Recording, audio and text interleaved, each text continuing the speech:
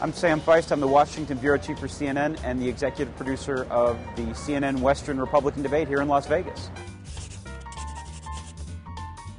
How do we pick the candidates for the debate? There are actually over 150 candidates running for President of the United States, candidates that are registered with the Federal Election Commission, but only seven of them are going to be in our debate here in Las Vegas.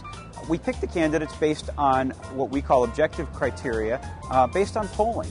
So the candidates that are polling in, the, in an average of national media polls over 2%, they get invitations to our debate.